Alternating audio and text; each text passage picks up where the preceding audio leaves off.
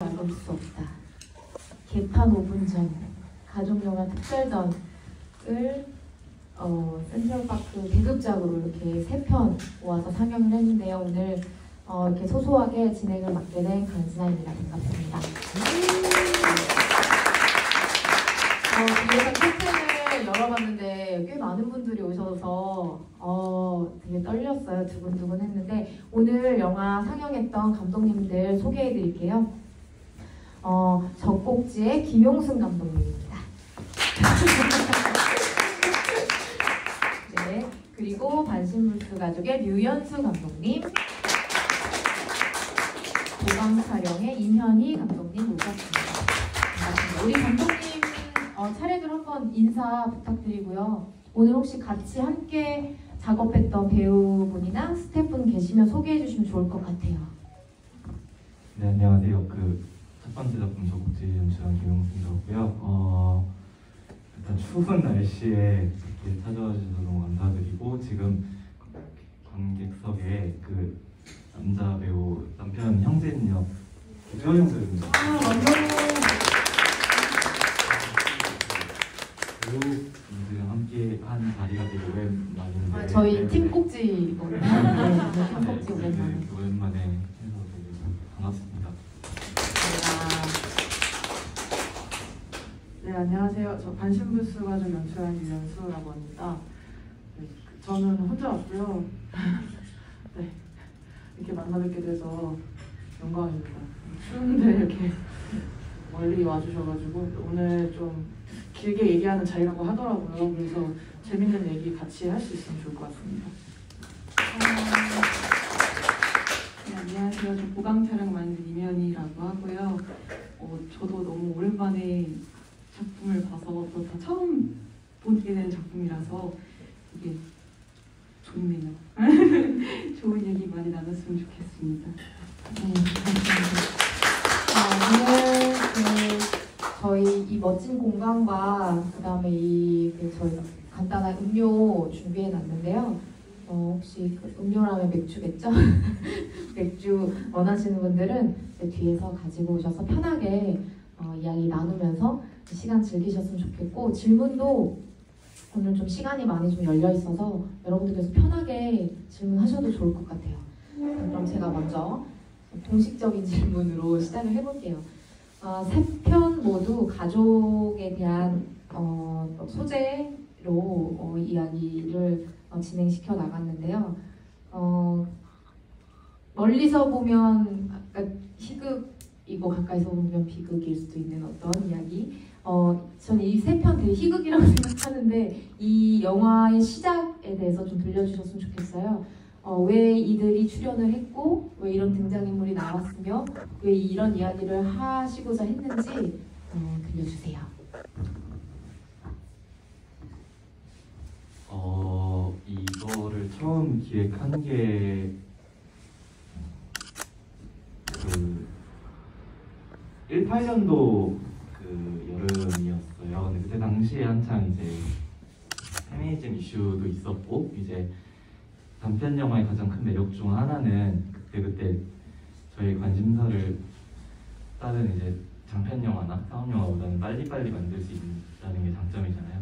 그때 저희 최대 관심사도 어찌됐건 그 이슈였고 그리고 이제 처음 이제 도서관에 갔을 때 그 생각이 나는 게 그 인체학 책 중에 왜 남자는 젖꼭지가 달렸는가라는 제목의 책을 뭐 발- 발견하고선 그때 이제 그 소재와 이제 제가 관심 갖던 그 주제를 이제 좀 잘 엮어보면 재밌는 영화가 나올 수 있겠다고 생각을 해서 이제 만들었던 것 같습니다. 그, 그 이야기 한다고 했을 때 주변의 반응은 어땠어요? 이게 그때 상명대 졸업 작품이었죠? 네. 어, 그, 뭐, 주변의 반응이라기보다는, 주변의 반응 뭐, 그냥 찍는다고. 아, 찍을 그거 찍어라 이렇게. 제 손으로 찍었어가지고, 뭔가. 그렇죠. 아, 근데 뭐, 그런 건 있었어요. 그러니까, 시나리오 때부터 그냥 되게, 그러니까 제가 잘 할수 음, 있을, 있겠느냐? 그러니까 되게, 어떻게 보면은 되게 민감한 소재이기도 하고 그러니까 제가 어쨌든 기혼자도 아니었고 그리고 주인공인 이제 아내의 그런 입장도 아니었기 때문에 되게 그거를 좀 그래서 더 열심히 공부하면서 그때 당시에 되게 그러니까 스스로 염려하면서 되게 접근하면서 재밌게 찍으려고 노력했던 것 같습니다. 네. 그리고 우리 류현수 감독님 영화의 시작에 대해서 이야기 들려주세요. 아 진짜 뭐 두 감독님도 그렇고 이 질문을 진짜 많이 받으셨 받아보셨을 것 같아요. 시작이죠. 네, GV 시작할 때마다 근데 저 그래서 항상 뭔가 암기된 것처럼 똑같은 말씀들을 항상 드리곤 했었는데 시간도 조금 지났고 오늘 좀 캐주얼한 자리니까 진짜 솔직하게 말씀을 어, 드려요. 좋아요. 여러분, 여러분 여기서만 솔직하게 이야기했으면 됩니다. 그러니까 그 지금 제가 말씀드리는 솔직한 말을 항상 포장해서 얘기했었거든요. 음. 근데 저 포장하지 않고 얘기하면 졸업 작품을 찍어야 돼서 찍었습니다. 네, 네, 네. 용승 씨 졸업 작품 찍어야 돼서 맞아요? 비슷한 네. 그래서 졸업 작품을 찍어야 되는데 난 내가 제일 잘하는 걸 하자. 음. 해가지고 찍게 된 게 가장 심플한 이유고요. 네. 그리고 이제 이 에피소드랑 비슷한 일을 실제로 겪었고 음. 그 겪으면서 되게 단편 소재로 좋겠다라는 생각을 동시에 했었어요. 음. 그러니까 아버지를 제가 실제로 영화관 앞에서 업은 적이 있었거든요. 네. 그래서 이거를 좀 피랑 살을 좀 붙여가지고 음. 단편 소재를 하면 딱 졸업할 수 있겠다고 생각을 했죠. 항상 그 연출자들은 어떻게 살아가면서 항상 어떤 소재, 어 이거 단편 소재감인데 이거 어떤 얘기는 이건 단편으로는 안 돼, 단편감이야 뭐 이런 얘기를 되게 그냥 농담하듯이 많이 나누는 것 같아요. 네. 그리고 우리 임현희 감독님. 저도 저, 저는 이거를 3학년 학부 작품으로 촬영을 했었었는데 2학년 때 이제 개인적으로 찍었던 단편 영화가 잘 안 나왔던 거죠. 그래서 이제 그거를 어떻게든 좀 잘 찍어보고 싶어서 이제 실제로 보충 촬영을 해야 되는 상황이었는데 이제 스태프들은 다 떠나가 있고 이제 눈에 보이는 게 집에 엄마가 계시더라고요. 그래서 엄마랑 같이 뭐 보충 촬영을 좀 해볼까 뭐 이런 어떤 하루가 있었어요. 그래서 그 하루에 뭔가 이제 엄마랑 뭐 어디를 간다던가 뭐 같이 밥도 시켜 먹고 카메라도 만져보고 막 이런 좀 소동 같은 것들을 겪고 나서 이제 그 2학년 작품을 포기를 하고 이제 이 단편 영화 시나리오를 썼던 것 같아요. 있었던 그 하루의 실화를 좀 기반으로 음, 이것저것 이야기를 넣어서 영화를 만들었던 것 같습니다. 어, 우리 관객 여러분들도 편하게 질문하셨으면 좋겠는데 혹시 뭐 물어보고 싶으신 것들 있으시면 손 들어주시면 좋을 것 같아요. 그 극중에서 나오는데 보강 촬영과 보충 촬영에 대해서 뭐 하잖아요. 그거의 뭐 차이점이라는 거 그런 게 뭐 있을까요? 네, 결국 제목은 보강 촬영으로 됐잖아요. 네. 그것도 사실 이제 보통 영화 학교에서 뭐 보충 촬영을 한다, 보촬을 한다, 약간 요렇게 단어가 있는데 이제 그날 하루의 소동 동안에 이제 어머니가 이제 어머니 친구분에게 딸이 뭐 보강 촬영을 한대, 그러니까 이렇게 말이 나왔어요. 그래서 이- 저한테는 이제 뭔가 엄청 익숙한 영화의 어떤 그런 용어가 엄마한테는 되게 생소하고 이제 좀 비일상적인 어떤 거였던 거죠. 그래서 그런 포인트가 좀 재밌어서 언어 유희처럼 보강 촬영이 있었고 또 중간에 이제 극 중에 아빠가 이제 보강 촬영은 더 강하게 뭐 이런 대사가 좀 있었어서 결과적으로 좀 더 끈끈해지고 강해진 가족 관계를 보여주기에는 원래의 용어인 보충 촬영보다는 보강 촬영이 더 괜찮겠다 그렇게 생각했던 것 같아요. 어, 혹시 가족이라는 소재에 대해서 물론 뭐 졸업 영화이기 때문에 또 더 끌리는 소재로 했어요도 있겠지만 가족이라는 소재에 원래 좀 관심이 있으신지 궁금해요. 어떤 부분부터? 아니면 혹시 뭐 요즘에 좀 관심 있는 어떤 이야기나 이런 것들 들려주셔도 좋을 것 같아요. 첫 번째 상영을 제 처음 하는데 되게 부담스럽네요. 그 가족 얘기 나와서 제가 저거 그러니까 저 복지라는 작품을 찍을 때 당시에는 조카가 없다가 한 1년 전에 조- 첫 저희 가족에 조카가 생겨가지고 이제 또 간접적으로 육아를 체험을 요즘 하고 있는 중인데 맞아, 이제 감독님 피드에 조카 아, 네, 사진 맞아요. 좀 네네 네. 올라오더라고요. 작은 누나가 결혼을 해가지고 조카가 첫어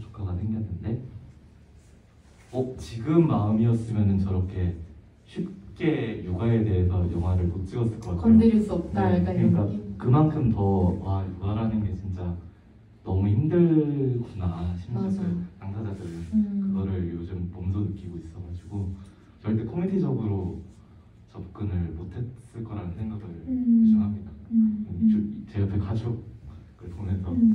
근데 코미디적으로 원래 이게 코미디로 찍으시려고 했던 게 맞잖아요.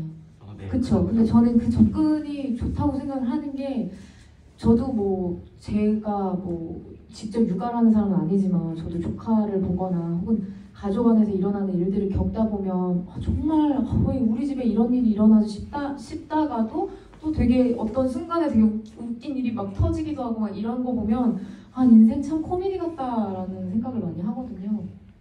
다시 찍으셔도 코미디를 찍으셔도 좋을 것 같아요. 너무 그 현실이 팍팍하기 때문에. 네.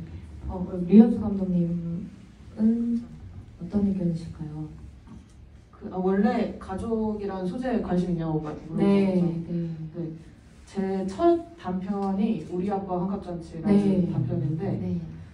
그때 어 나 좀 나 좀 재능 있을지도 음. 라는 생각을 했던 것 같아요. 그래서 그러고 이제 두 번째 단편으로 밤사이라는 드라마를 찍었는데 그때 좀 스스로 아쉬운 점이 많았던 것 같아요. 그래서 졸업은 두 개 중에 더 잘하는 걸로 해야겠다라고 생각을 해서 이제 반신불수 가족을 또 다시 가족 소재를 하게 된 건데 제가 이번에 멜로를 찍었거든요. 이번 장편 영화예요. 네, 네. 음. 촬영 끝난 지 2주 됐는데 어 제가 이제 가족 소재 이야기를 찍을 때 어, 정말 편하게 찍었다는 것을 다시 한번 느꼈어요. 음. 훨씬 더 캐릭터에 대해서 이제 소통을 할 더 게을렀어도 됐었구나라는 생각을 많이 해가지고 그게 어떤 말이죠? 더 좀 자세히. 그러니까 음. 뭔가 제가 그 캐릭터를 연구하지 않아도 이미 그 캐릭터 너무 잘 알고 있으니까 음. 그 가족 몇 면의 캐릭터도 너무 잘 알고 있으니까 음. 가족 이야기라는 거는 엄청 나의 큰 무기라는 생각이 들긴 하더라고요. 음. 확실히 그래서 뭐라고 해야지 이번에 새로운 시도를 하게 돼서 좀 어, 재밌고 도전적인 부분도 많았지만 확실히 나에게 가족 이야기를 한다는 거는 나의 큰 무기라는 거는 확실히 느꼈던 것 같아요. 그래서 뭐 또 저에게 또 기회가 주어진다면 네. 또 진득한 가족 이야기를 한번 해보면은 스스로 어느 정도 또 발전된 부분이 보이지 않을까라고 음. 생각하고 있어서 개인적으로는 그 소재에 관심이 있는 만큼 또 제가 좋아하고 잘할 수 있는 거라는 생각은 드는 것 같습니다. 음, 되게 대사들도 찐이다라는 느낌들이 많이 들었거든요. 아버지를 대하는 태도도 되게 따뜻했고, 근데 그 안에서 모녀 간의 그런 대사들이, 그 관계들도 어, 전 진짜 같다는 생각이 많이 들어서. 질문 하나 해도 아, 해도 어. 되나요? 그, 그 우리 형 그것도 봤거든요. 우리 아빠 아빠 한갑잔치 같이? 아, 네 네. 대가족이신가요? 아. 그러니까 여기서도 네, 가족 형제도 많이 나오고 우리 아빠 한갑잔치는 거의 뭐 맞아요. 중국 가족 수준으로 그런 걸 참 기억을 하거든요. 네, 네, 아. 궁, 네, 궁금해가지고. 어, 이렇게 막 연계를 해서 질문해 주시니까 되게 풍성하네요. 네. 실제로는 이제 반신불수 가족 나온 것처럼 이제 자매고요. 네. 근데 이제 반신불수 가족은 이제 환갑이니까 모두가 같이 친척들이 다 모여서 약간 대가족의 형태를 띈 것처럼 했었던 부분이 있어서 실제로는 이제 이런 거를 뭐 4인 평균 가족입니다. 예. 핵가족이라고 하나요 이거를? 네, 핵가족이라고 예, 했었죠. 예. 네. 아 그래서 제가 게으르게 했다는 말씀을 드린 게 네. 그 대사들이 정말로 실제로 말씀, 그러니까 실제로 제 가족들이 뱉었던 것들을. 네 음. 발주한 거니까 엄청 게을렀던 거죠. 사실. 아. 정말 편안하게 했구나라는 생각이 음. 물론 이제 촬영할 때 너무 힘들고 그럼요. 다시 찍어도 이건 못 찍겠다는 생각을 했지만 음. 그래도 이번에 멜로 찍을 때보다는 훨씬 편안하게 찍었다는 생각은 들었던 것 같아요. 그 시스템에서 많이 시달리셔서 더 오히려 게을렀다는 말 하시는 게 아닐까?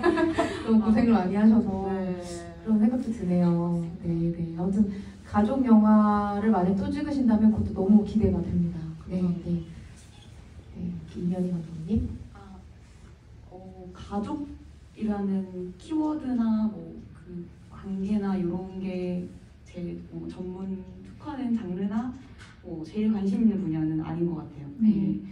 주로 지금 제가 이때까지 찍었던 영화들이나 이제 지금 쓰고 있는 이야기들이나 이것들이 뭐 주로 약간 로코도 많고 이제 약간 상실, 뭐 음. 전 남친, 맞아요. 네. 러브 퍼즐. 어저 봤어요. 아, 진짜? 네, 네. 뭐 그런 게 있더라고요. 그래서 네.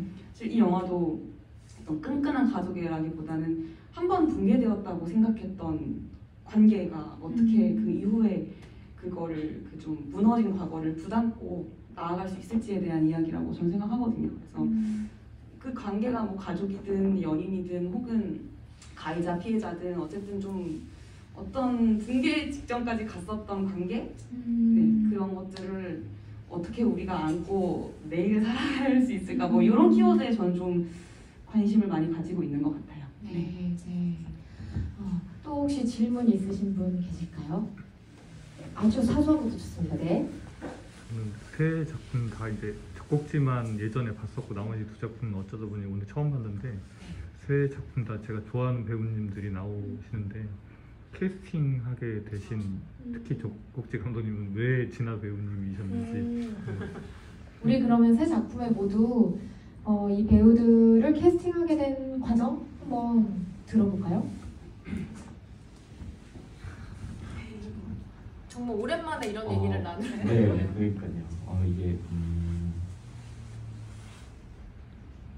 사실은 그때 캐스팅 뭐 그러니까 과정을 돌이켜 봤을 때 음, 되게 그러니까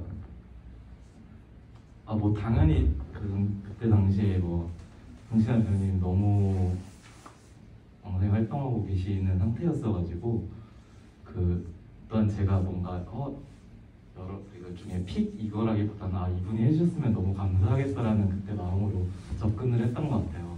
그러고 그 이유는 되게 근편이지만 어떤 한 작품을 처음부터 끝까지 특히 적곡지는 앙상블이잖아요. 그러니까 두 배우밖에 안 나오고 사실상 그러고 특히 그 유선 역할 아내 역할이 되게 큰 비중이 컸기 때문에 그 처음부터 끝까지 그걸 쭉 이끌어갈 수 있는 에너지가 있는 배우를 되게 필요로 했었고 그때 그랬을 때 이제 연락을 드려서 되게 읍소하듯이 연락을 했던 기억이 납니다. 되게 이메일로 되게 저 복지라는 작품이 있는데 절대 이상한 영화 아니고 오해 오해하실 수 있으니까 내가 노출 없다라고 전체 관람가 제안한다고 이메일로 보냈던 기억이 납니다.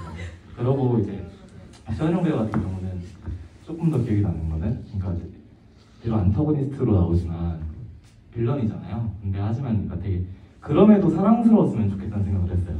그러니까 마냥 악에서 끝나진 않고 그래도 조금은 애정 어린 시선으로 가질 수 있는 그래서 조금 사랑스러운 러블리한 어떠한 한 단면이 좀 있었으면 좋겠다라는 생각이 들었고 너무 잘 해주신 것 같습니다.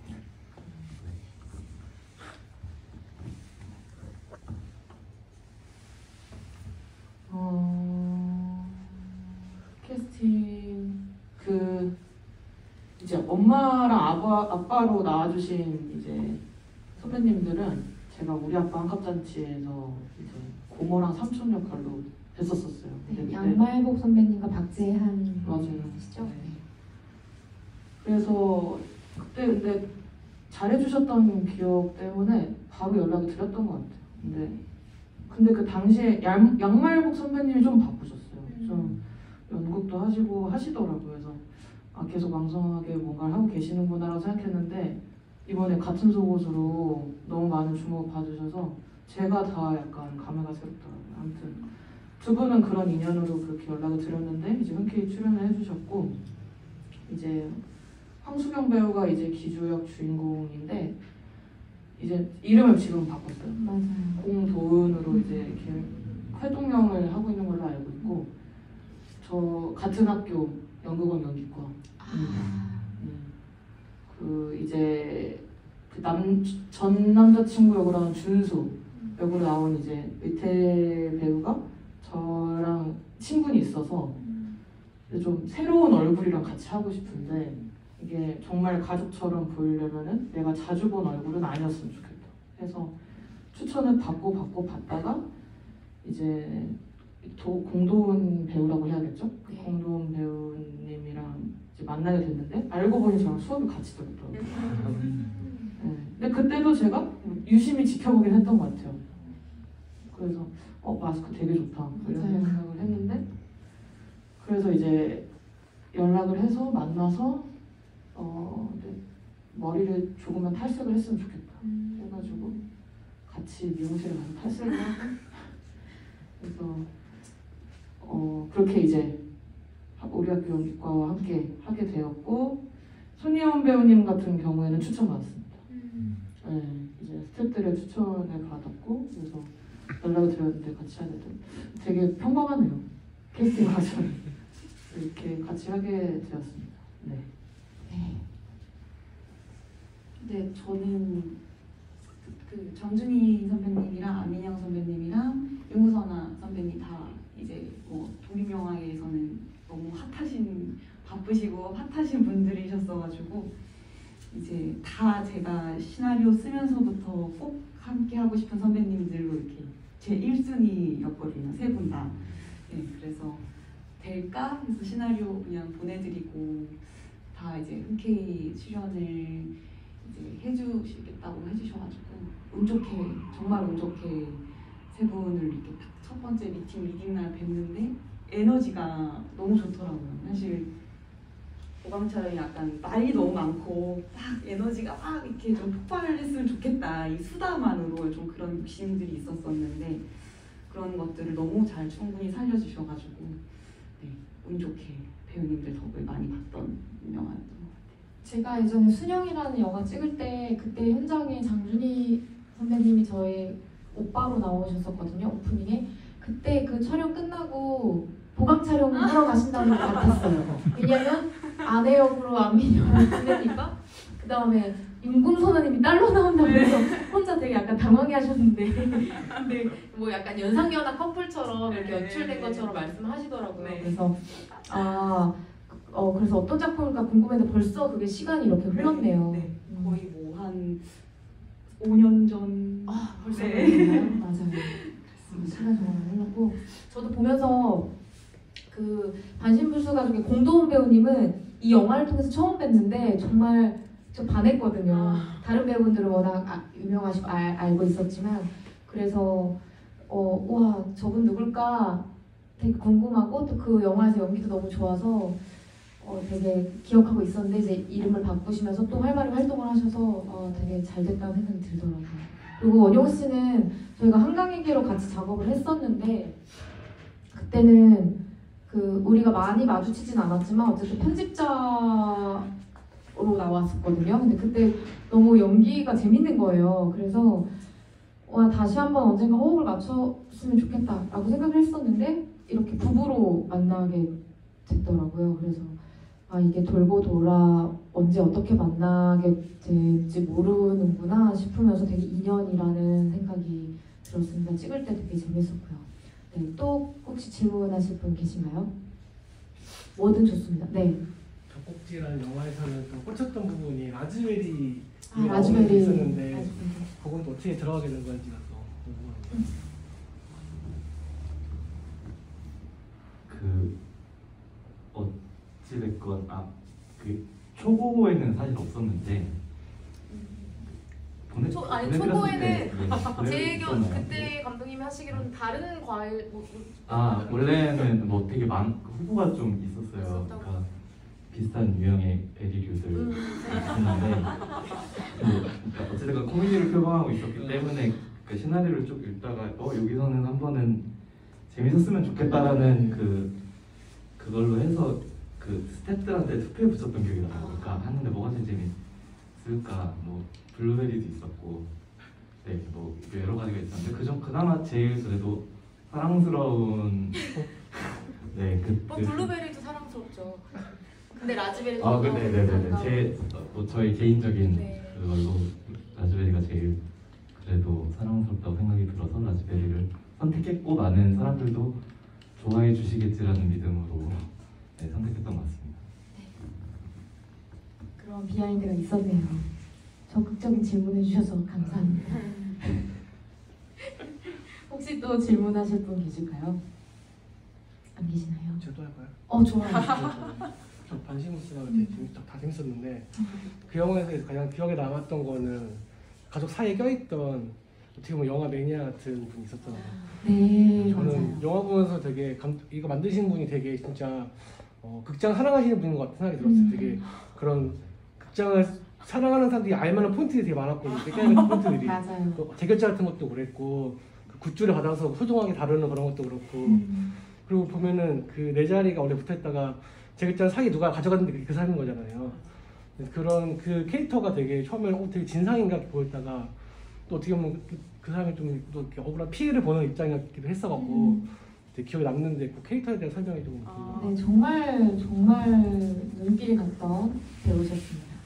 그분의 또 비밀이 있잖아요. 맞아요. 존재가 원래 있으신 분입니다. 그 네. 제가 캐스팅 관련해서 얘기할 때 이분 얘기를 까먹었다니 큰 실수를 하셨네요. 큰 실수를 했네요 제가 그 엄하늘 감독님이라고 그 단편을 많이 봐, 봐오신 분들은 아시겠지만 그 일단 저 약간 선배고요 영상을 영화가 선배고 그 주로 멜로 장르의 단편을 지금 찍고 지금 또 멜로 장편을 지금 쓰고 계시는데 엄하늘 선배님이 저한테는 선배님이고 그래서 제가 이제 근데 그 선배님이 아카데미 정규과정에 또 들어가셨어요. 네. 그래서 그 정규과정 들어가셔서 졸업 단편을 찍는데 제가 이제 조감독으로 납치가 된 거죠. 아. 그래서 근데 저도 그냥 넉넉히 납치된 건 아니고 납치를 되면서 저 사람을 나도 어떻게든 써먹어야겠다. 근데 암- 엄청 의미 있게 써먹어야지. 그래야지 나한테 이득이니까 감독들 항상 이기적인 생각밖에 안 하거든요. 그래가지고 어떻게 하면 이 사람을 100분 활용할 수 있을까 해서 데이터 매니저랑 배우를 같이 시켜야겠다. 네, 크레딧에 보니까 데이터 매니저라고 이름이 올라와 어, 왜냐면은 데이터 매니저로 그 생활비를 버시기 때문에 네. 프로 데이터 매니저. 음. 엑시트 데이터 매니저를 하셨습니다. 아. 예. 그래서 이제 근데 또 이 어마이 감독님이 약간 출연 욕심이 있으셔가지고 아. 배우로 이제 제가 시나리오를 써놓으면 더 열심히 내 영화에 몰입해주겠지? 라는 생각으로 아예 그냥 그 캐릭터는 제가 시나리오 쓸 때부터 그분을 생각하고 썼어요. 음, 아예. 그 그걸 다- 연기를 그래도 또 꽤 다른 작품에서도 하셨던 것 같던데요. 맞아요. 그쵸. 네. 아 연기에 대한 마음이 크시네요. 개인적으로 는 연출보다 연기 더 잘한다고 생각하는데 음. 진짜 잘하시더라고요. 네. 그래서 이제 그냥 당신의 모습 그대로 이 영화에 이제 출연해주면 된다. 그래서 뭐 의상 뭐 준비 하나 없이 그냥 항상 갖고 다니는 긴 롱패딩으로 와서 이제 연기를 해준 건데 제가 이제 어디서 이거 약간 오타쿠 혐오 아니냐는 얘기를 들었거든요. 음, 음. 근데 사실 저는 엄하늘 감독님이 연기해 주시는 그 오타쿠가 제 마음속에 되게 귀여운 캐릭터였어가지고 네 귀여웠어요. 네. 음. 그래서 이게 근데 전 정말 그 캐릭터를 사랑해서 쓴 건데 남들 보기엔 너무 진성으로 보이려나 하는 좀 우려가 있었지만 아무튼 그분이 실제로 굿즈도 정말 좋아하십니다. 아. 네, 정말 좋아하세요. 그리고 DVD도 많이 모으시고 음. DVD를 모아서 실제로 해외 감독이 내한하면은 그 사인 받으러 꼭 가시고 음. 네, 그렇게 해서 항상 항상 자기만의 어떤 소장판을 만드시는 분인데 그러니까 그런 것들은 제가 좀 이제 훔쳐와서 그 안경남 캐릭터에 녹이게 된 거죠. 그리고 딱히 디렉팅을 한 건 없고 오히려 이제 엄하늘 감독님이랑 같이 맞붙는 손희연 배우님한테 웃으면 안 된다는 디렉팅만 했던 기억이 있어요. 진짜 그것 때문에 NG가 너무 많이 나가지고 근데 아시다시피 시간 없지 돈 없으니까 막 연기한 거죠. 아 이러면 우리 오늘 안에 붙죠. 어. 막 괜히 막 무섭게 막 음. 그래서 못, 못 웃게 하려고 음. 그런 식으로 음. 연출을 하셨네요. 네, 약간 기강 잡는 연출만 네, 했어요. 네. 그래서 막 엄마가 그 돈 다시 다 주고 귤 가져가라 게 너무 진짜 같은 거예요. 그 상황 자체가 그 엄마의 그 말이 그래서 어, 우리 엄마 보는 거 그래서 너무 친근하게 다가왔습니다. 또 창영님도 질문해 주시면 너무 환영이에요. 혹시 질문하실 분도 계시다면 네, 환영입니다. 편하게 질문해 주십시오. 음, 저는 그 보강 촬영에서 그 영화 속그 그 인물이 윤금선아님이 인물한 예, 예리가 그 영화 촬영 낡은 아파트 구하러 다니는 그 과정이 그 실제 감독님께서 그 공간을 구하러 가는 과정하고도 뭔가 다 했을 것 같았거든요. 혹시 그 공간들을 구하는 데 있어서 어떤 에피소드나 어려움은 없었는지요? 어, 어려움이 많았었던 것 같아요. 음, 그 실제 재개발 네. 네. 근데 이제 사실 영화 속에 이제 딱 재개발 아파트로 이제 아파트들의 그냥 일부인 거고 사실 되게 많은 집들이 나오잖아요. 네. 첫 커트부터 마지막 컷까지 엄청나게 많은 아파트들이 나오는데 그 이게 찍다 보니까 콘티 짜고 하다 보니까 이게 약간 강박이 다시 올라와서 진짜 모든 컷에 다 아파트가 걸렸으면 좋겠다 이렇게까지 된 거예요. 그래서 음. 학생 영화다 보니까 뭐 로케이션 매니저도 없고 다 발로 뛰면서 이제 찾아서 써야 되는데 정말 서울 한복판에 여러 가지 아파트들을 보러 다니면서 네 예리랑 비슷했던 것 같아요. 네, 뭐, 이 아파트는 실패, 저 아파트는 실패. 근데 그러다가 어쩌다가 운 좋게 뭐 어떤 아파트 앞에서 잠깐 쉬어가기도 하고 결국은 우리 집으로 돌아오고 뭐 이런 과정들이 예리의 마음을 더 잘 느낄 수 있는 그런 프로덕션 아니었던 그 모든 장면에 아파트가 걸리길 바라는 희망은 그래도 절반 이상은 이루어졌어요. 네 아, 이제 고생 많이 하셨네요, 많은. 스태프들의 이 보고로 어, 네, 많이 어, 왜냐면 어쨌든 이 영화에서 아파트가 되게 중요한 게 이 가족들이 이제 살아가야 될 공간이잖아요. 음. 뭐 영화 속 장면을 위해 찍으러 가는 거는 약간 껍데기 얘기인 거고 음. 이 가족들이 어디서 어떻게 머물 수 있을까가 이제 아파트라는 공간이기 때문에 이런저런 많은 아파트들을 이렇게 보여주고 싶었던 것 같아요. 음, 항상 촬영하다 보면 기자재 반납 시간은 늘 빨리 다가오잖아요. 근데 그 빨리 다가오는 그 시간이 아 이들이 이제 함께 할 수 있는 네. 시간이 이제 거의 다 다 됐구나. 네. 라고 이렇게 비유가 돼서 그것도 되게 흥미로웠습니다. 네. 또 질문 있으신 분들은 번쩍번쩍 손을 들어주세요. 네. 음, 혹시 세 분은 영화 오랜만에 보셨나요? 혹시 종종 꺼내보신 분도 계실 수 있어요. 너무 애정해서. 어, 이 작품에서 다른 사람들 말고 내가 좀 애정하는 장면이 있는지 네 궁금해요. 그게 과거랑 또 오늘 봤을 때도 달라졌을 수도 있을 것 같거든요. 네. 김영순 감독님부터. 그 되게 오랜만에 봤고요. 음, 사실 그러니까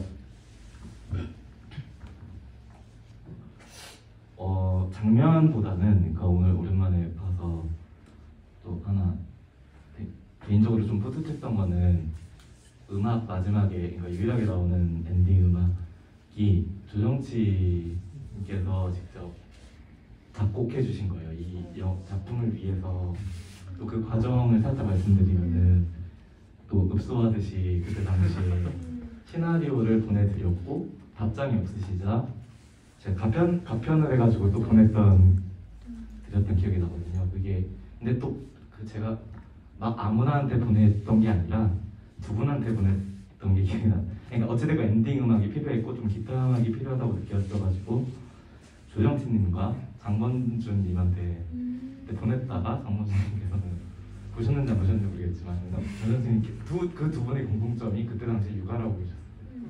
또 나름의 또 전략적으로 네. 보냈던 기억이 나, 나고 다행히 너무 좋은 음악을 써주셔서 그리고 영화 오늘 오랜만에 다시 봤는데도 아 참 영화 음악 되게 좋았 좋다라는 생각을 했습니다. 영화 음악이 되게 큰 몫을 하기도 했어요. 저도 이 영화를 되게 잘 마무리 짓게 해주는 어, 좋은 음악이었던 생각이 듭니다. 네.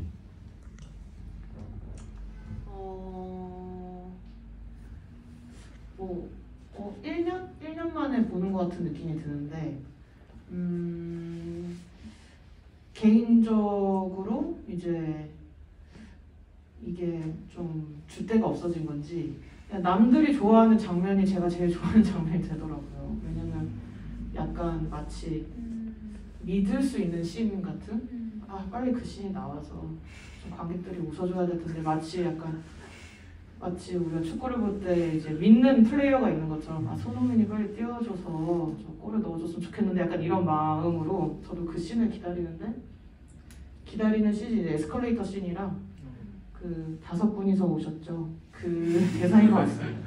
그거는 나름 제가 믿고 맡기는 대사 씬인 것 같아요. 그래서 그것들이 아무래도 저한테도 되게 좋아하는 씬과 장면이 되었고 그리고 기주랑 준수가 이제 화장실 앞에서 오랜만에 만나서 대화 나누는 씬 그거는 편집으로 잘 버무려진 것 같아가지고 처음에 만들고 나서 좀 뿌듯했던 기억이 있습니다. 네. 원래 그렇게 컷 구성을 하셨던 거예요? 이렇게 편집해야겠다.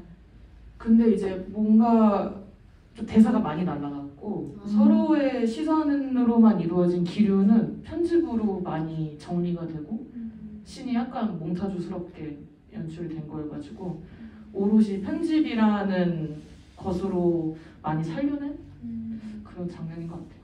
네, 감사합니다. 저도 한 6년 전에, 5년 전, 6년 전에 찍었던 영화라서 상영도 좀 오랜만에 하는 것 같아서 되게 오랜만에 봤는데 어, 이게 작품을 찍고 나면 저는 정말 이게 객관화가 돼서 남의 작품 보듯이 이렇게 좀 보거든요. 근데 그래서 이것도 이제 한동안은 뭐 한 3년 전, 4년 전 이제 영화제 돌고 했을 때는 너무 부끄러웠어요. 그냥 기술적으로 이제 학생 영화였다 보니까 아쉬운 것도 너무 많고 그런 것만 좀 보였던 것 같은데 이제는 진짜 완전 객관화가 돼서 뭐 어떤 장면보다도 이게 뭔가 기술적으로 문제가 많은데 뭐 그걸 조금 뛰어넘는 진심이 느껴진다. 그게 제가 느껴지더라고요. 그러니까 제 과거의 진심이 너무 진심이었구나. 그런 게 좀 놀랬어요. 아, 되게 열정 있게 찍었다. 독하게 찍었다. 이게 느껴져서 저는 오늘 상영 보면서 오, 열심히 했다. 그런 게 좀 오늘 느껴져서 좀 신기했던 것 같아요. 그 막 자기 작품을 객관적인 시선으로 보기까지가 사실 시간이 좀 걸리거든요. 근데 그래서 저도 그 작품 찍고 얼마 안 되고 상영본을 봤을, 그러니까 그 완성작을 봤을 때 참 객관화가 안 되는 것 같아요. 근데 지금 보면 저도 젖꼭지에서 했던 제가 연기했던 역할이 연기가 많이 아쉬운 부분이 분명히 있어요. 근데 그때는 그걸 모르고 저게 최선이었던 어떤 거였죠. 근데 이제 그런 것들에 대해서 어 약간 자책하고 이럴 때 이제 주변 동료는 그런 얘기를 해주더라고요. 그 저때저 순간에 너도 너이기 때문에 그걸 네 스스로 안아줘야 되고 봐줘야 된다라는 말이 좀 힘이 됐고 저도 한 제 작품을 모니터하게 된 게 그렇게 막 아주 이- 그렇게 오래되지가 않았어요. 그래서 어, 내가 그때 지금 봤을 때 미숙해 보이는 부분도 결국 그때는 되게 열심히 했고 그 시간이 지나서 또 이 자리에서 또 새로운 작업들을 하고 있는 것 같다는 생각이 듭니다. 네, 혹시 또 뭐 질문 없으실까요? 어 역시 반신부스 영웅이시네요. 네네. 반신부스 과정을 보면 세 작품 중에서 가장 단편 영화인데 좀 등장인물이 많고 상영관 뒤에 하나 그 상영관 예 그쵸. 그리고 메가박 그쵸. 승수가 이제 되게 주요한 공간 나오는데 어. 그 장소를 섭외하는 그런 과정 같은 거나 아니면 그런 뒤에 인원들을 채우는 거 있어서 어떻게 돈으로 그게 된 거 해결이 어 맞아요 궁금했어요. 어떻게 그게 진행된 건지 좀 궁금합니다. 왜냐면 뒤에 이렇게 그 보조 출연해 주시는 그 배우분들이 되게 잘 캐스팅됐다고 생각이 들었거든요. 그러니까 마- 인원이 많더라고 인원이 보니까. 네.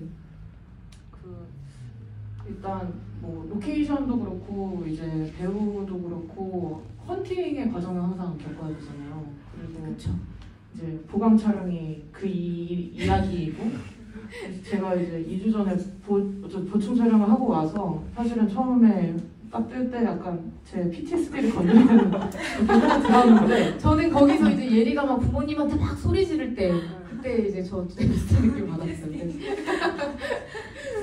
어 뭐지 뭐 되게 운명의 장난인가? 약간 오늘 이 공간 뭐지? 뭐 이런 거 다른 과거로 네. 듯한 어, 어, 뭐, 세상이 나 내중심으로 돌아가나? 막 이런 생각이 들 정도로 공교로웠는데 아무튼 반신불수 가족 같은 경우에도 근데 뭐 두 분 다 공감하실 거예요. 그 배우 캐스팅보다 힘든 게 장소섭인 것 같아요. 정말로. 네.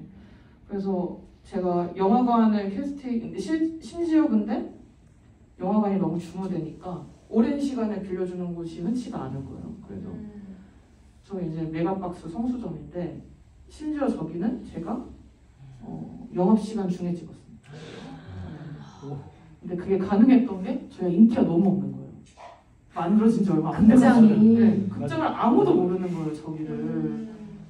근데 저기 되게 좋아요. 맞아요, 맞아요. 진짜 좋아요. 그래서 그 개업한 지 얼마 안 됐는데 사람들이 모른다는 찬스를 사용해서 음. 저기 이제 영업 시간 중에 그래도 대여료를 내고 찍었고 근데 이제 몹신 이제 떼신이 나오는 거는 영, 영업이 거의 끝날 때쯤 찍었으면 좋겠다고 해가지고 보조 출연자 분들을 이제 약간 아 어떠, 어떤 거였지? 약간 연기 아카데미 다니시는 네. 배우님들 한 분씩 한 분씩 섭외해서 굉장히 영가에 아 그럼 단체로 섭외를 하신 거네요? 네네 아. 연가에 와주셔서 이제 몹신을 3시간 동안 찍었는데 이제 어떻게 찍었냐면 어, 풀샷만 씬별로 다 찍어놓고 음. 그분들이 다 가시고 나서 이제 하루하루 그 떼신의 타이트 씬들을 따로 찍은 거죠. 음. 그러니까 한 번에 한 씬에 다 찍은 게 아닌 거예요. 음. 그래서 이게 아 붙을까? 아, 붙겠지? 붙을까? 이 생각을 계속 그게 몇 회차였던 거예요? 아니면은 그게 하루에 그분들 먼저 보내고 나머지를 찍고 하루 동안 찍은 건가요? 극장 씨는? 그러니까 예를 들어서 이제 이제 보조 출연 40명 정도가 나오는 씬이 대략 5씬 정도가 있다. 와 단편 영화에서 진짜 스케일이 크네요. 네. 그러면 그 5씬의 풀샷만 찍는 거죠. 그러니까 어. 1컷, 그러니까 1씬에 1컷, 2씬에 1컷, 3씬에 1컷만 찍고 음. 그러고서는 몇 회차에 걸쳐서 한 3, 4회차에 걸쳐서 나머지 tight shot을 음. 그래서 이제 타이트샷에서 지나가는 뒤 사람들은 다 저희 스텝. 음. 그래서 안 나온 스텝이 없고 심지어 결국에는 저도 출연할 수밖에 없게 돼요. 어디였죠? 그 그땐 제가 단발머리여가지고 네. 그 이제 안경남 이제 엄한애가 감독님이랑 이제 설전을 벌일 때 음. 뒤에서 아 언, 언제 끝나 이러고 있는 아. 관객 중에 하나가 저였어요. 되게 앳됐더라고요 몇년 안에. 그런 식으로 이제 찍어가지고 그때도 뭐 저는 두 감독님 다 공감하실 거라 생각하는데 저는 영화 촬영이라는 거는 항상 얻고 싶은 마음과의 싸움인 것 같거든요. 아 엎을까? 얻고 싶다. 난 뭔가를 얻고 싶다는 사람인데 얻고 싶다. 어떻게, 어떻게 하면은 빠르게 이 영화를 중단하지? 그러니까 이 마음과의 싸움이라고 저는 생각해요. 왜냐면 너무 지, 지지부진하고 힘드니까. 왜 두 분 다 양쪽 다 그 반응 있으셨어요? 할 말 있으시죠? 이게 그 그러니까 공감하실지 모르겠지만 만드는 사람 한 번쯤 찍어보셨다면은 저 아까 이거 보면서 전 스케일이 거의 뭐 백두산 해운대 설국열차에 앞서가는 것 같거든요. 40명 이상 나온다는 걸로 저는 비겁해가지고 두명 나오는 걸 찍어보는데 아 근데 그, 그게 영양입니다. 되게 진짜 그 어, 대, 대단하다는 걸 생각했어요. 네. 아, 뭐. 근데 저는 제가 그 단편의 미학이 담긴 영화를 찍었다고 생각하진 않아요 개인적으로. 이렇게 이제 두세 명의 이제 메인이 나와서 진득하게 끌어가는 게 진정한 이제 단편 영화의 룸이라고 생각하는데, 근데 이제 제가 선택한 이제 줄 글들인 건데 후회스러운 거죠. 그래서 어떻게 하면 스태프들한테 이걸 잘 말해서 빨리 엎을까? 이 고민과 애초 싸움이거든요. 근데 그 첫 첫 그 욕망이 들었던 게 영화관이 잘 안 구해질 때였거든요. 그러니까 너무 찍기 싫으니까 막 어, 조금 울먹이면서 아안 찍을래 막 이러면서. 영화가 어떻게 구해 막. 근데 그러면 그 다음날 또 구해지더라고요. 약간 그런 식으로 구했고 네 출연 같은 건 아까 말씀드린 대로입니다. 네. 네, 놀랍네요. 네, 네. 어, 제가 지금 머리가 하얘졌어요. 네. 어, 혹시 또 질문 있으신 분 계실까요? 없나요? 여러분, 아니 제가 생뚱맞은 질문 하나 해도 돼요? 이제 연말이 다가오고 있잖아요. 세 분 겨울하면 추천하고 싶은 영화 없어요? 여기서부터 할까요? 네, 좋아요. 겨울 음 겨울 하면 떠오르는 저는 이 영화 조금 연관돼서 얘기하자면 영화 네브레스카를 추천합니다. 네. 어쨌든 그것도 좀 이렇게 황, 황무지 같은 곳을 돌아다니는 조금 조금 서글프고 좀좀 선선한 로드무비거든요. 그래서 네, 저희 영, 제 영화에 좀큰 reference 영화이기도 했고 뭐 장면적으로나 정서적으로나 그렇기도 하고 이제 분명히 그 배경이 겨울임을 알 수 없는 약간 흑백 영화인데 어, 보면 겨울 제목 다시 한번 네브레스카 알렉산더 페인 감독의 네브레스카라는 영화를 추천합니다. 아, 네, 감사합니다. 네. 네. 어, 어, 근데 너무 제가 당연한 영화를 추천하는 것 같은데 이 올해도 그렇게 되리라 믿어 의심치 않는 게 러브레터가 또 재개봉을 할 것 같거든요. 네, 올해도 분명히 하겠죠? 네. 재개봉할 때마다 보러 가도 좋지 않나 영화는. 왜냐면 저 저도 이제 러브레터를 이제 컴퓨터로 보고 러브, 러브레터를 사모하면서 살아가다가 하도 재개봉을 해대니까 이제 영화관에 가서 봤는데 어 이거는 어, 다르다. 경험이 다르다는 생각이 들더라고요. 확실히 큰 스크린으로 보는 게. 정성일 평론가님이 영화의 주적은 핸드폰이라고 말씀하셨던 게 이해가 되면서 어쨌든 재개봉하러 하면은 또 보셨겠지만 또 보러 가시는 걸 추천합니다. 네. 12월 8일 한다고 돼 있어요. 아 역시 하는 혹시 어디예요? 장소는 모르겠고 재개봉이라고만. 재개봉? 왠지 에모 시네마에서 왠지 느낌이. 네. 저는 두 작품이 떠오르는데 되게 그첫 번째 작품은 유니에게라는 작품이 원래는 저 러브레터가 원래 1픽이었다면은 진짜 좋아했는데 유니에게라는 작품을 이제 극장에서 한번 보고 와 너무 좋다라는 생각이 들 정도로 그것도 겨울에 일본 배경이 나오는 영화에 보시는 분들도 계시겠지만 되게 와 이 그걸 보고 와 이 감독님은 참 좋은 사람이다라는 생각 일면식도 없어요 잘 모르는데 참 좋으신 분일 것 같다라는 생각이 들 정도로 영화가 참 따뜻하고 한 명 한 명이 참 애정 어린 시선으로 영화를 찍었구나라는 생각이 드는 재밌습니다 그리고 재밌는 영화라고 생각이 들었고 하나는 이것도 뻔하지만 작년에인가 한번 그냥 심심해서 나홀로 집에를 모처럼 오랜만에 봤는데 정말 재밌더라고요. 재밌죠. 네, 그냥 아 이렇게 일차원적으로 그리고 직관적으로 이렇게 재미를 줄 수 있는 영화가 많지 않다고 생각이 들어요. 근데 참 이렇게 오랜 시간 동안 사랑받는 영화에는 이유가 있구나. 네, 그 생각을 커서 봐도 보니까 느끼더라고요. 네. 그게 one, two 모두 흥행했었죠. 네, 맞아요. 맞아요. 지금 봐도 너무 재밌는 영화입니다. 네, 혹시 또 질문 있으실까요? 참고로 러브레터 이번에 마지막 재개봉이라고 하네요. 아 진짜? 극장에서 그거 누가 정하는 걸까요? 마지막이라. 판권 이런 거 아닐까요? 네? 판권 때문에 아 극장에서 마지막 볼 수 있는 그럼 거. 이번엔 무조건 가서 극장에서 봐야겠다. 저도 너무 어릴 때 봤던 기억만 있어서 음, 저, 정말 좋은 정보 많이 주시네요. 마지막 재개봉이라고 합니다. 네. 음, 어,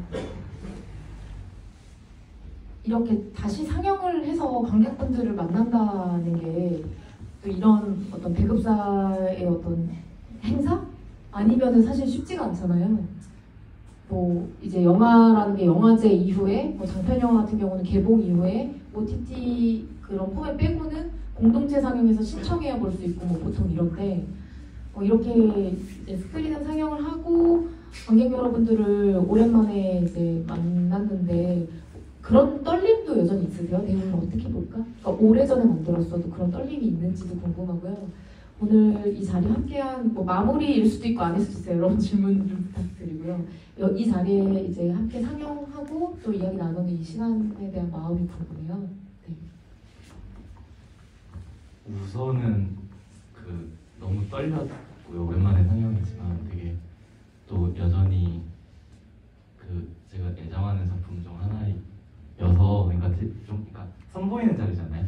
그래서 지금 참 재밌게 시간이 아깝지 않게 봐주셨으면 좋겠다라는 생각으로 함께 뒤에서 봤었는데요. 아까 그러고 특히나 오늘 날씨가 너무 추운 날씨임에도 불구하고 이렇게 자리를 메워주신. 거에 대해서 추워요. 이런 이런 날씨는 집에서 넷플릭스도 보기 싫은 맞아, 맞아. 직접 행차해 주신 거에 너무 감사함을 느끼고 이런 자리가 오랜만이기도 하고 되게 저희 저만 즐거운 거 아니죠? 전 즐거운데 뭐 용승 씨만 맥주 조금 더 마신 것 같아요. 저- 전 진짜 즐겁거든요. 저도 좋아요. 아 진짜 말씀하신 것처럼 귀- 정말 귀한 자리라고 생각하고 그래서 항상 이런 자리는 저한테 어 되게 초심으로 돌아가게 만드는 게 있는데 음. 되게 부정적인 초심과 긍정적인 초심 두 가지의 마음이 들게 합니다. 둘다 얘기해 주세요. 궁금하다. 긍정적인 초심은 아 맞아 그러니까 내가 이야기를 하려고 하는 이유가 여기 있지 음. 라는 생각과 두 번째 이제 부정적인 초심은 아 나 영화 전 사실 아직도 객관화가 안 됐거든요. 음. 물, 그러니까 두 감독님에 비해서 제가 만든 지 얼마 안 된 것 같아요. 음. 근데 어, 너무 못 보겠더라고요. 음. 그래서 아 이, 이렇게 객관화가 안 된다. 계속 영화 감독 할 수 있을까? 음. 두 가지 역시 역시 뭐 약간 천직이 아닌가? 그러니까 두 가지 생각을 들게 해서 어 여러 가지로 많은 생각을 하게 해준다는 것 자체가 소소한 저의 인생에서의 약간 분기점이 되게끔 해준다는 생각이 들어요. 그 네. 되게 힘들고 우울했는데 영화 찍고 나서 음. 근데 이제 제가 출갈못이지만 그 가족들이랑 같이 월드컵 봤거든요. 네. 근데 그냥 어떻게 보면은 인생이 없어도 되는 행사잖아요. 그러니까, 그러니까 필수적이지 않은 행사지만 음. 그 행사로 하여금 제가 좀 생기가 도는 거예요. 네. 네. 그래서 아, 이거 축제라는 게 존재해야 되는 이유와 음. 같이 모여서 무언가 같이 한다는 거 자체가 음. 내가 내가 살아가는 원동력을 엄청 심어주는구나라는 생각이 많이 들었던 것 같아요. 그래서 그만큼 좀 외로웠나 봐요. 장표를 찍으시고 조금 쉬시긴 하셨어요? 2주 됐다고 했는데. 네네 치과를 음. 그러니까 강제로 저를 바깥으로 끌어오게 한 게 이 행사거든요. 이 행사예요? 네. 이 행사가 없었더라면은 전 지금도 치- 계속 치과를 하고 있었겠죠. 그래서 이런 행사들이 정말 귀하고 내가 이제 그러니까 필수적이지 않다고 생각을 했지만 어쩌면 가장 필수적인 음. 것들이겠다 이런 것들이 그런 생각이 드는 것 같습니다. 네. 저희 센트럴파크에서 되게 좋은 일 하신 것 같아요. 진짜 이, 이, 이 저희를 끌어내 주셔서 감사하고 이 공간 대여해 주신 선생님들께도 너무 감사드립니다. 네. 어, 네. 저는 저만 그렇게 느끼는 줄 알았는데 나만 좋나? 그 저도 이 5년 전에 찍었던 작품이고 지금까지 뭐 나름 음, 이제 뭐 상업 작품도 입봉을 하고 네. 뭐또 아직 세상에 태어나지 않은 이야기들을 계속 쓰면서 네. 아난 정말 쓸모가 있을까?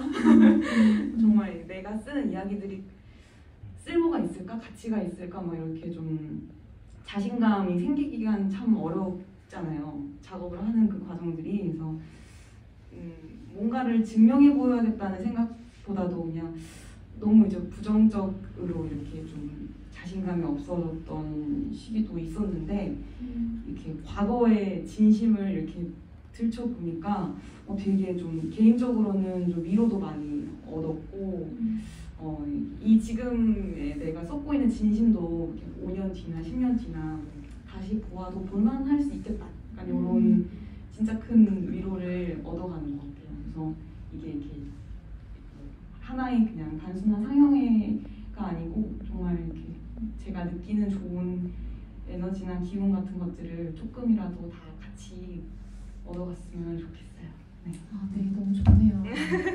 마무리일지 아닐지 모르지만 박수 한번. 네, 제가 지금 감독님 말씀 들으면서 아, 이 멘트를 해야지 했다가 이게 삭제가 된 거죠. 왜 삭제가 됐지? 그러니까 맥주를 조금 마셔서 그렇구나라는 되게 황당한 지금 생각을 하면서 아, 이 멘트를 까먹었는데 네. 네, 그렇네요. 네, 그렇습니다.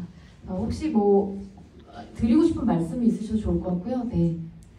감독님, 진아 배우님 포함해서 최근에 독립 영화나 단편 영화도 좋고 아니면 뭐 상업 영화도 상관없는데 보시면서 뭐 어떤 배우의 연기가 눈에 확 들어왔다든지 아니면 여- 작품 자체가 뒤통수를 칠 만큼 뭐 임팩트가 있었던 작품이나 연기가 있었다면 추천 부탁드립니다. 오. 아, 저는요. 그 이번에 저희 차병님이랑 시네마투게더 부산에서 같이 했었는데 그, 그 저희가 영화를 부산에서 다섯 편에서 여섯 편을 봤거든요. 근데 그때 그 너무 거장의 영화인데 그 이냐리투 감독님의 신작을 극장에서 봤어요. 부산에서. 근데 그 영화가 오프닝부터 와 이것이 영화구나 아, 라는 생각을 하게끔 되게 압도적이었거든요. 근데 지금 아마 개봉을 한 걸로 알고 있어요. 넷플릭스에서 볼 수 있나요? 이게 넷플릭스에서 제작한 거면 볼 수 있는 거죠. 근데 극장에서 보시길 어, 너무 추천드리고요. 네, 제목은 바르도 약간의 진실을 섞은 거짓된 연대기라고 해서 제목은 외우기 어려운 바르도만 치시면 쭉 나옵니다. 저는 이 작품 보고 너무 좋았어요. 너무 좋았고 그래서 극장에서 확인해 보시면 좋을 것 같아요. 네. 저는 갑자기 그러니까 떠오르는 떠올랐던 게 그 올해 되게 충격적으로 재밌게 본 게 같은 속옷을 입은 여자 그러니까 최근에 개봉했잖아요. 근데 그게 만들고 영화제에 공개된 건 작년부터 공개된 걸로 알고 있는데 그게 그, 그래서 되게 반가웠어요. 되게 영화 재밌게 봤는데 네네 나- 나와가지고 그이 영화에서 어머니로 나오셨던 그 배우분이 주연으로 나온 또 어머니로. 네네네 거기서는 이제 딸과 좀 더 본격적으로 싸우죠. 그 에, every everyday 그 영화 있잖아요. 요즘 가장 핫한. 저는 그것만큼 우주의 충돌이라고 느꼈거든요. 그 영화가 그 정도로 되게 뭐, 한국에서 되게 보기 드물게 끝까지 가는 되게 어 되게 진짜 불도저 같은 영화라고 저는 느껴가지고 어 되게 충격적으로 봤던 기억이 있습니다. 꼭 보셨으면 너무 재밌을 것 같습니다. 네. 어, 되게 즐거운 질문인 것 같아요. 진짜 영화 얘기를 할 수 있는 것만큼 좋은 질문 없는 것 같은데 전 진짜 꼭 추천하고 싶은 영화가 있었어요. 올해 본 것 중에 높을 너무 추천하고 싶은데 생각보다 너무 안 보더라고요. 근데 저는 이제는 조던 필이 엄청 거장의 반열에 들었다는 생각이 들었어요. 노블 보고 그리고 노브에서 나온 이제 케케팔모랑 이제 그 남자 배우는 갑자기 이름 생각이 안 나는데 다니엘 어쩌고 아 깔루야 예, 다니엘 깔루야였던 것 같은데? 두 사람의 연기도 엄청 좋았던 것 같아요. 그 다니엘 깔루야 같은 경우에는 그 시선 처리만으로 이 사람이 어떤 생각을 하고 있는지를 유추해보게 한다는 것 자체가 엄청 미니멀한 연기여서 굉장히 훌륭한 배우라고 생각을 했고 조던필 같은 경우에는 되게 부러웠어요 그냥. 이거를 찍고 있는 그 감독 자체도 즐기는 게 느껴져가지고 개인적으로는 여러 가지로 진짜 큰 재미들이 여러 가지 재미들이 많아서 노블 꼭 추천하고 싶더라고요 어떤 기회가 생기면 네, 노블 진짜 추천합니다 고맙습니다. 네. 어, 저도 올해 봤던 것들 중에는 사랑할 땐 누구나 취하게 된다라는 영화를 너무 좋게 봤었어서 그걸 극장에서 볼 수 있는 그 동시대에 극장에 가서 볼 수 있다는 게 너무 행운이었고 티빙에서 또 나온다고 하더라고요. 네, 그래서 어, 볼수 있는 경로가 생겼으니까 보시면 되게 좀 우리의 좀 정서가 좀 넓혀지는 그런 체험을 할 수 있지 않을까 해서 네, 추천드립니다. 본 영화도 있고 봐야 될 영화도 있는데 어, 이런 그 추천은 참 설레는 것 같아요. 어, 아직 녹을 안 봤는데 오늘 가서 보려고요. 아 진짜 재밌어요. 네. 혹시 또 이야기 들려주시거나 질문하실 거 있을까요? 없으신가요? 네, 그러면 한번 마무리 한번 해볼게요. 어, 음, 오늘 이제 세 분의 작품, 저도 예전에 봤던 작품도 있고 이번 상영회를 통해서 처음 본 작품도 있는데요. 이 가족이라는 어, 카테고리 안에 묶여서 어, 이 세 편의 영화를 보면서 되게 공통점도 많이 발견했고 어, 되게 흥미롭게 봤습니다. 어, 감독님들 아까 뭐 마지막 소감을 묻긴 했지만 혹시 앞으로의 계획들이 있으면 들려주셨으면 좋겠어요. 왜냐하면 이, 세- 이 작품을 보면서 더 관심이 막 생겨서 응원을 마구마구 해드리고 싶습니다. 어, 그래서 앞으로의 계획과 마무리 인사 부탁드릴게요.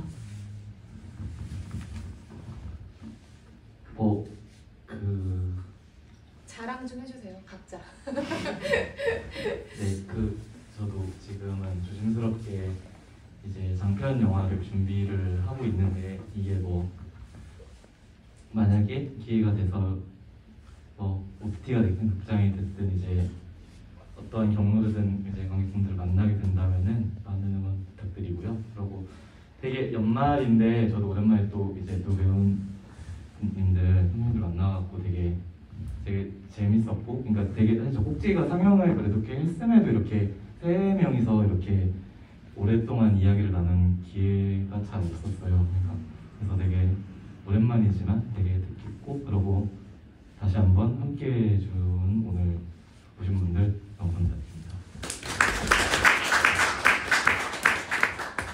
네, 유현수 감독님. 아, 저는 근데 말씀드리면서 제가 지금 어떤 상황에 처했는지 너무 잘 아실 것 같아요. 제, 제 지인들보다 더 잘 알고 계시게 된 것 같은데 네, 지금 촬영 끝난 지 얼마 안 됐고 이제는 또 독서 공방에서 홀로 일- 일단은 그 1차 편집을 해야 되는 상황이 있습니다. 그래서 두렵습니다. 그래도 되게 어 되게 감사한 기회로 이게 독립 장편을 찍게 된 건데 징징대지 말아야지라고 생각하면서도 징징대게 되네요. 그럼요. 또 진심될 때 돼야죠. 그런 과정이 있고 그래서 그 하늘에 계신 하늘에 신이 있다면 이 영화가 무사히 좀 후반을 잘 할 수 있도록 좀 다들 좀 기도 같이 해주시면 감사하겠습니다. 곧 크리스마스니까요. 저는 이- 그리고 이 영화를 끝마치고 나면 그때는 다른 직업을 찾아봐야 않나 고민하고 있습니다. 아 영화를 왜 찍는지 모르겠어요. 너무 힘들고요. 아무튼 진짜 두 감독님도 너무 존경하고 꼭 잘 되셨으면 좋겠습니다. 더 완성하실 수 있도록 기도드리겠습니다. 네. 감사합니다. 네. 네, 저도 뭐 언제 탄생할지 모르겠지만 하늘에 신이 계신다면 부디 열심히 자- 준비하고 있는 이야기가 제법 근사하게 세상에 나왔으면 좋겠는 기도를 하고 있고요. 네, 그 과정이 너무 빡세지만은 않았으면 건강도 챙기고 좀 사람도 챙기고 그렇게 아기자기하게 계속 작업을 해나갈 수 있- 있으면 좋겠다는 생각을 합니다. 네. 네, 감사합니다. 네, 세분 모두에게 응원의 박수 부탁드리고요. 네, 영화 만든다는 게 되게 어려운 일이고 또 그 안에 즐거움이 분명히 있습니다. 연출자들이 어느 정도 작품을 만들고 나면 꼭 종교를 갖거나 점을 보러 그렇게 다니더라고요. 근데 너무 이해되고요. 어쨌든 본인만의 그 믿음으로 여기까지 오셨는데 계속 꾸준히 작업해 주셨으면 좋겠고요. 오늘 이 자리 마련해 주신 어, 센트럴파크에게 너무너무 감사드리고 이 공간 마련해 주신 임명의 선생님들께도 박수 부탁드립니다. 감사합니다.